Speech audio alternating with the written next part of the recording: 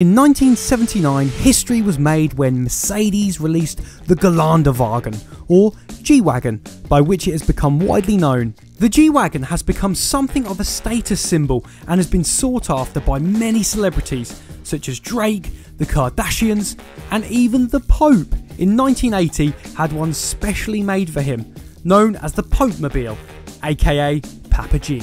Today we take a look at this modified AMG G63 and see what's been added to this gorgeous exterior. Now there's one thing I absolutely despise about this G63. We look inside the car and check out the noise of those mean menacing side exhausts. Then to finish up we jump in the car to check out what kind of power this G63 has to offer. I want one. Oh my gosh.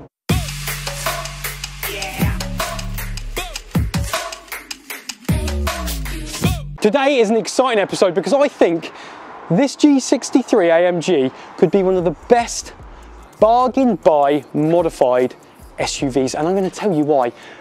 For starters, this is up for £139,500. A brand new one from Mercedes-Benz spec with a night package is 157k so already you're making about 18k saving let's go through some of the features of this urban automotive have had a little play the wrap is khaki green from Inozetek and it has some big beastie 23 inch UC1s on the side, around 1600 excluding VAT. We'll have a look at those in a moment. But look at this, it's got an aftermarket bull bar. Mercedes don't offer a bull bar as an option and it just looks so much better on the car with the bull bar. It's like clothes, isn't it? Some people look better with them off, some people look better with them on, and this definitely looks better with it on. It's got a Panamericana grille, which we saw debuted back in 2016 with the AMG GTR, and it looks aggressive. It's like prison bars, isn't it? It references bad things. It's like, I want to chomp you up. Gorgeous. Right, let's go around the side. These are the wheels I was talking about. These Urban Automotive ah, 23 inches. Now, Mercedes standard on a generation 2 22 inches on a gen 1 20 inches so you're all getting, you're already getting more for your buck with this car. It's oh, the colour's brilliant. The khaki green against the gloss black. You've got these gorgeous foot runners here, these wide fenders. Got these gorgeous burly, aggressive exhausts. And we'll have a little listen to those later on. Let's come around the side of the car.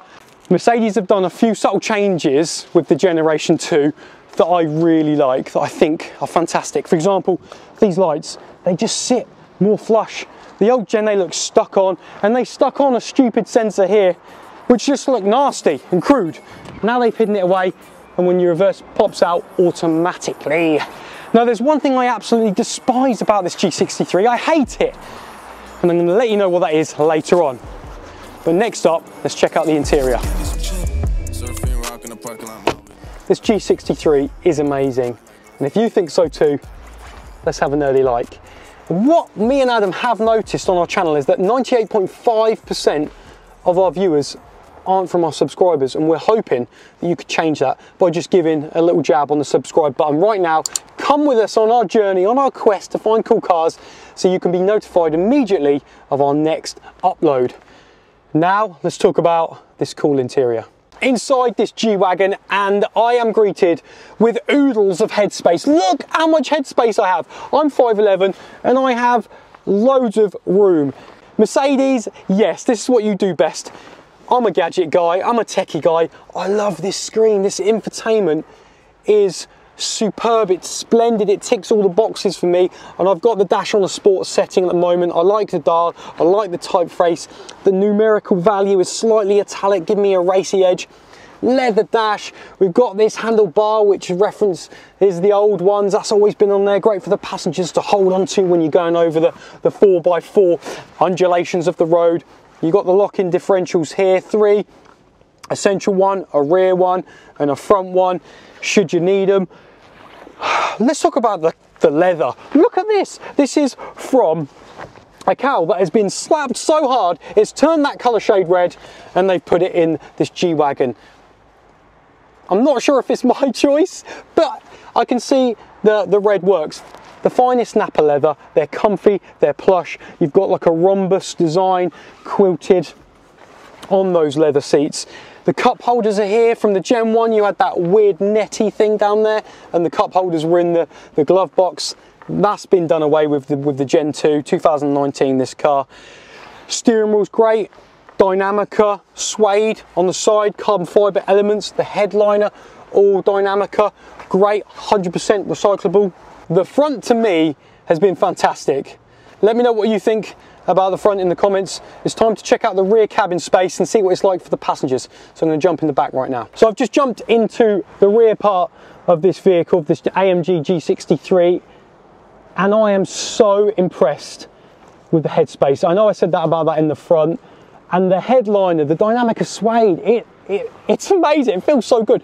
It really stepped up that luxurious element of this G-Wagon. Now, it's got a few more inches, I think six inches more than the Gen 1 leg room. Headroom's good. You can easily fit three people on this. And you know in some cars you've got this horrible hump. With this you don't. There's a little bit of a raise for the person who's sitting in the middle. I'm just gonna slide over just to show you. But you can easily get a third person sitting here and two people either side. So you could fit three meatheads with ease, you know, if they're not too muscular like me. But the space is good. The only thing I would say is in comparison to a Porsche Cayenne or a Bentley Bentayga, which I've been in recently, it's definitely not as spacious. But if I'm in this AMG G63, I want to be in the front. Right, now onto something I absolutely hate. Let's go around to the boot. Shut this door. Cool privacy glass though. You couldn't see me in there, could you? Right, let's have a look at it. 677 litres of boot space.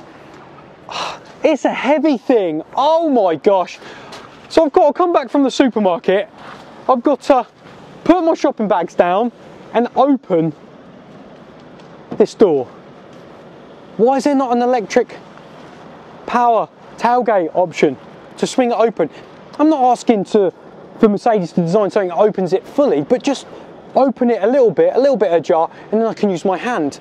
They do it with every other luxury SUV. It's the only thing the G-Wagon doesn't offer. And you might say, oh, it doesn't go with its aggressive nature of the car, its boxy quadratic style. It's meant for, you know, strength and muscular people. But no, I want an electric operated door to help me out with my shopping bags. So that's the one thing I hate. I'd love to know what you think. Yeah, inside the door, it's quite nice. You've got this rhombus quilted leather, plenty of space behind me. But Mercedes, if you're listening, get this door power assisted with some electrical motor or something. Now what we've all been waiting for, those side exhausts. Let's listen to them roar.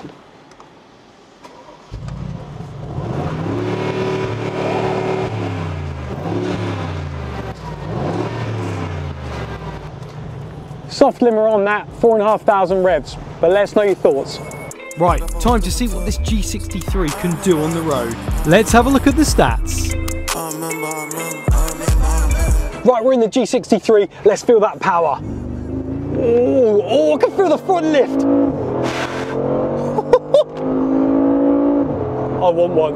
Oh my gosh. Oh, if I had 139k, this would be mine. I'd snap this up today. That transition of power, that that feeling like the front the front lifted was so good. How does that feel when you put your foot down? Scary? Scary. I love it. Scary. I love the seating position. How you're looking down, you can see the whole bonnet. I think that's so cool. That noise. Oh, give me more. Give me more. I love the noise of that exhaust. It's so, the, the ride height of the vehicle, looking down on the bonnet, it's incredible. You've got the privacy glass, no one can see you. This car's immense. Matt, I love the lift. That feeling of what when you put your foot down, whoa, yes! I love it. It's so cool.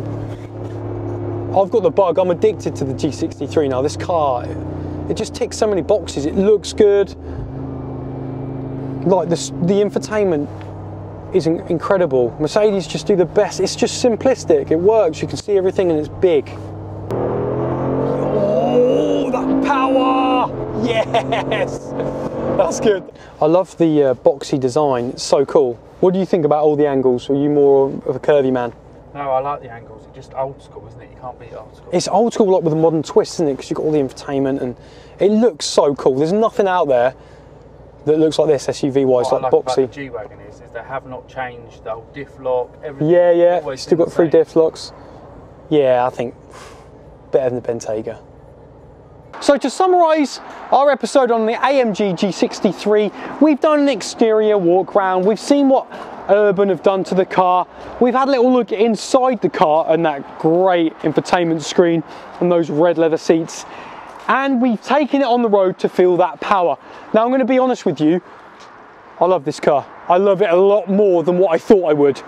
And what I want to know is, do you love this car? Let me know in the comments below. Don't forget to throw us a like, get us subbed, and we'll see you on the next one.